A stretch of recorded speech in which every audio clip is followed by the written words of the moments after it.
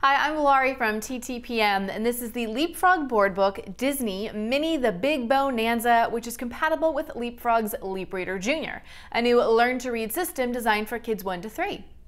Using a LeapReader Junior Book Pal, which is sold separately, kids can activate story narration, games, character phrases, sound effects, and more by touching the Book Pal to various objects on each page.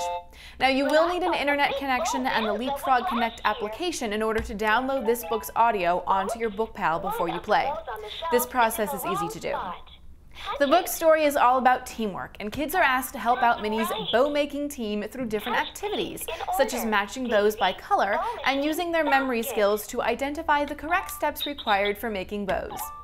This is a fun and interactive book for kids who love Minnie Mouse.